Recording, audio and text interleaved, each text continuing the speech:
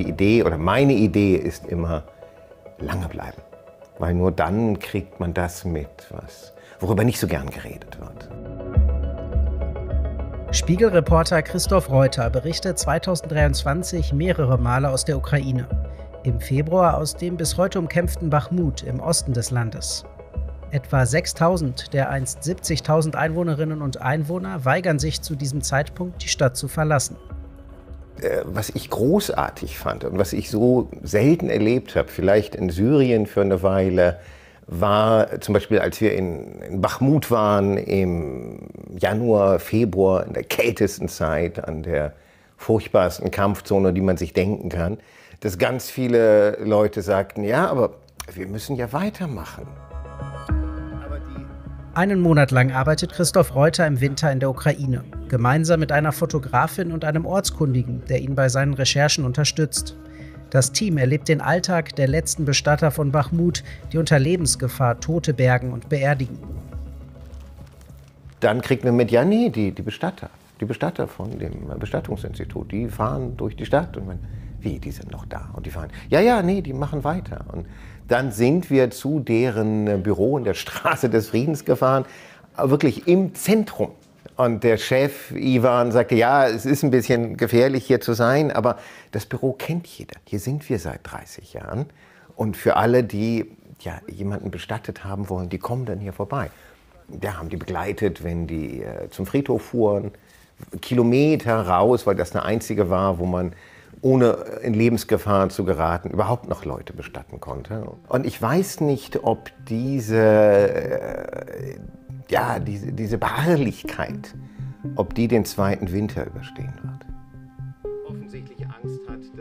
Im Spätsommer kehrt der Reporter zurück in die Ostukraine. Er begleitet Minenräumer der ukrainischen Streitkräfte bei ihrer Arbeit und trifft einen Mann wieder, der im Februar noch dachte, der Krieg wäre bis zum Sommer gewonnen ein, ein netter Professor für Agrarwissenschaft sagt, ja, ich hatte die kleine Truppe von Soldaten eingeladen, die im März hier war, ähm, ins Sommerhaus, dass wir dann den, den, das Ende des Krieges feiern. Und dann erzählt, ja, und dann starb der, und dann wurde der, und dann der, und dann der. Und er wisse nicht, ob noch einer übrig sein werde, wenn der Krieg vorbei ist. Er wisse nicht, wen er in sein Sommerhaus einladen solle. So gefährlich der Einsatz auch ist, damit der Angriffskrieg Russlands gegen die Ukraine nicht in Vergessenheit gerät, ist es unverzichtbar, dass Reporterinnen und Reporter das Kriegsgeschehen dokumentieren. Man sollte wissen, wofür man das macht. Und wofür machst du es? Um äh, so gut es geht zu erklären und zu erzählen, was dort geschieht. Und Bachmut zum Beispiel war wichtig, um zu zeigen, ja, wir liefern Gepard-Schützenpanzer, wir liefern die Panzerhaubitze 2000. Das, was immer gefilmt wird von den Fernsehteams. Das ist gut, das ist schön, alle zehn Kilometer steht so ein Gerät.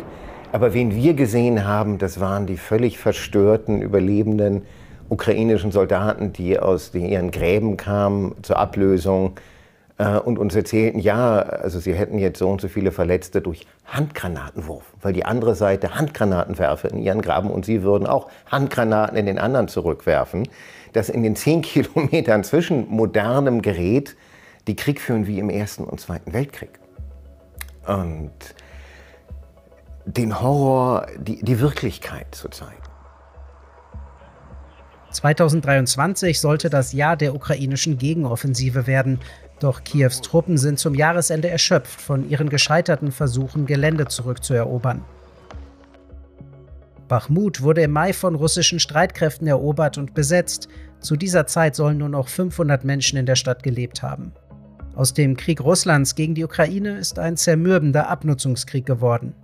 Es gab die Hoffnung im, selbst im Sommer noch, dass das, was man als Frühjahrsoffensive ausgegeben hatte, dass das funktionieren würde, dass sie tatsächlich weite Teile des Südens befreien können und dass man äh, zumindest das Gefühl hat, irgendwo ist ein Ende dieses Krieges sichtbar. Und das ist es nicht mehr.